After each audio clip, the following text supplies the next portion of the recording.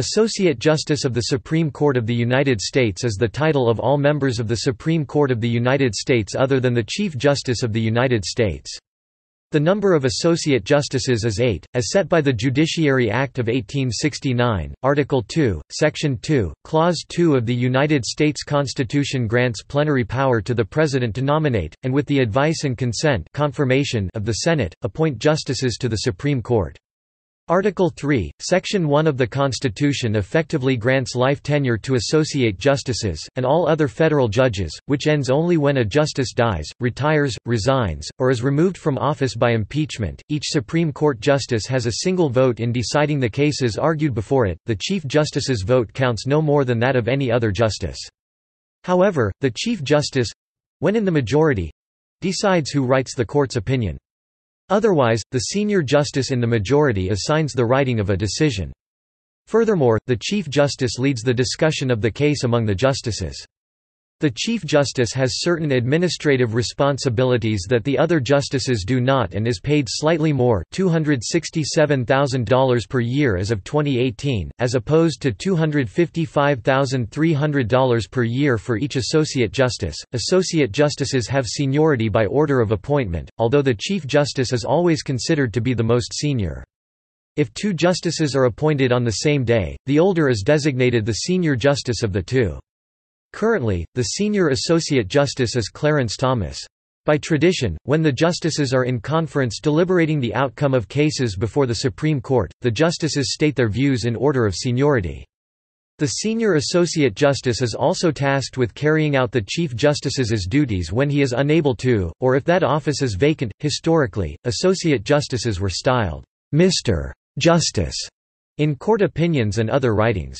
The title was shortened to Justice in 1980, a year before Sandra Day O'Connor became the first female justice.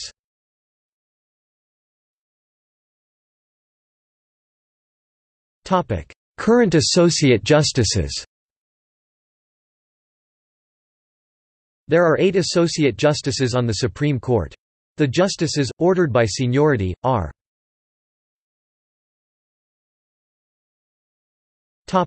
Retired associate justices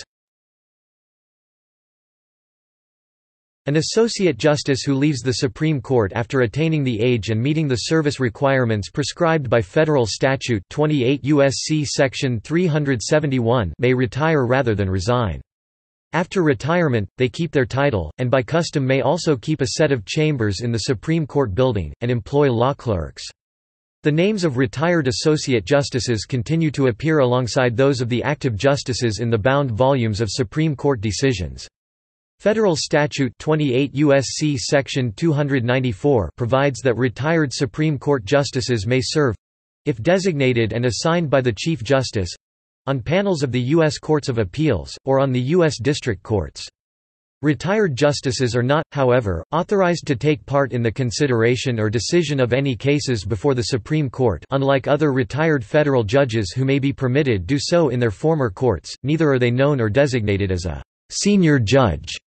When, after his retirement, William O. Douglas attempted to take a more active role than was customary, maintaining that it was his prerogative to do so because of his senior status, he was rebuffed by Chief Justice Warren Burger and admonished by the whole court. There are four living retired associate justices at the present time Sandra Day O'Connor, retired January 31, 2006, David Souter, retired June 29, 2009, John Paul Stevens, retired June 29, 2010, and Anthony Kennedy, retired July 31, 2018. Both O'Connor and Souter occasionally serve on panels of the Courts of Appeals of various circuits. Stevens and Kennedy have not performed any judicial duties.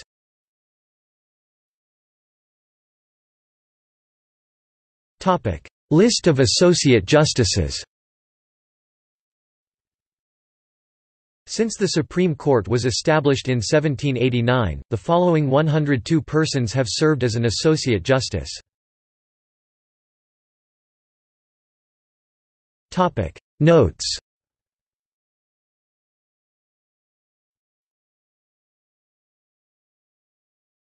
Topic. See also.